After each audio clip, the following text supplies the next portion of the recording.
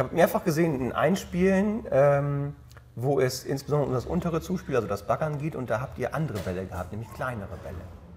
Die Annahmeleute an, äh, arbeiten hier, nehmen den kleinen Ball, baggern mit den kleinen Ball miteinander, mehr als 20 Kontakte pro Person.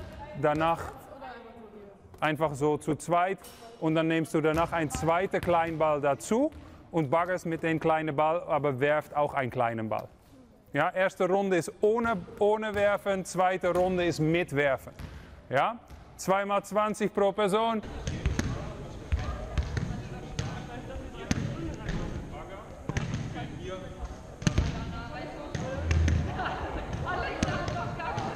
Wir benutzen kleinere Bälle, weil wenn ich einen kleineren Ball benutze, ist, muss mein Brett noch besser sein, weil einfach die Abweichung größer ist.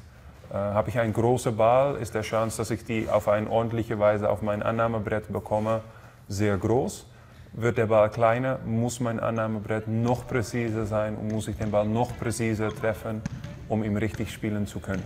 Und du hast dann eine Anforderung, ne? du hattest, äh, heute im Training hattest du 20 äh, Mal, die der Ball hin und her gespielt werden muss, ohne dass er runterfällt zwischendurch.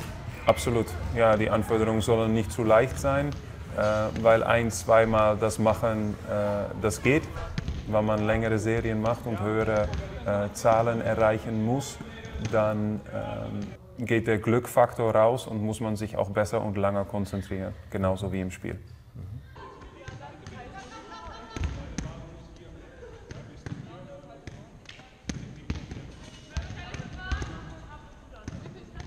Beide Runde gemacht und geschafft? Gut. Okay, prima. Dann können die kleinen Bälle weg.